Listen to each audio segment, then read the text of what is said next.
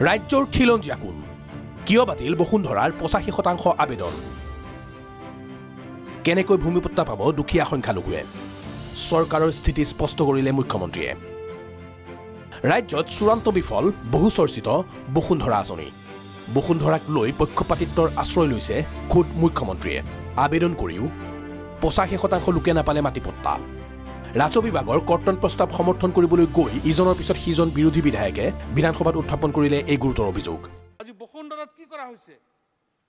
বসুন্ধৰাত পৰ্যাপ্ত প্ৰমাণ পাতি থকাৰ পিছতো এটা বিশেষ শ্ৰেণীক নিদিয়াৰ মতলব তেওঁলোকক বাদ পেলাই থোৱা হৈছে অধিকাৰ দিয়া হোৱা নাই। আমাৰ মানুহে আজিলৈকে মাটিৰ পট্টা পোৱা নাই। আমাৰ আমি নি যি ঠাইত বসবাস কৰোঁ আমি কিয় মাটিৰ পট্টা নাপাম?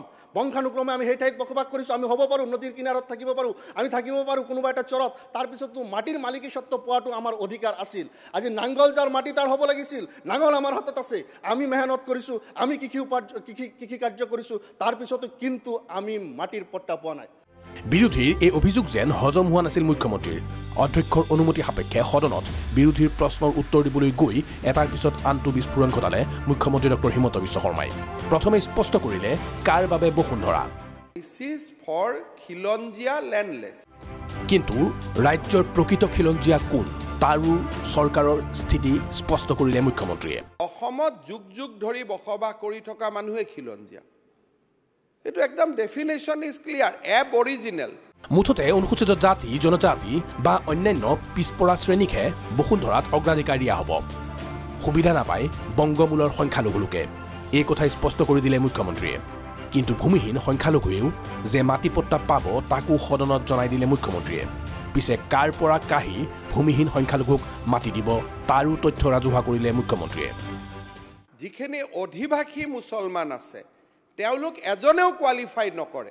এশ বছৰৰ ভিতৰত অসমত অহা মানুহে সহজে নাপাব।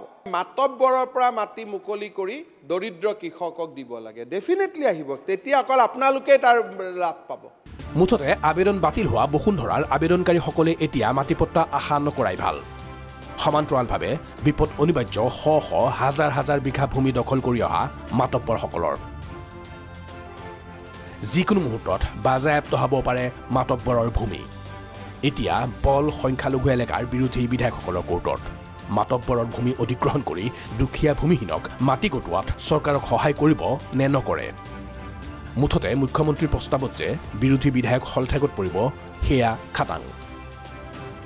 Bureau report Prag News.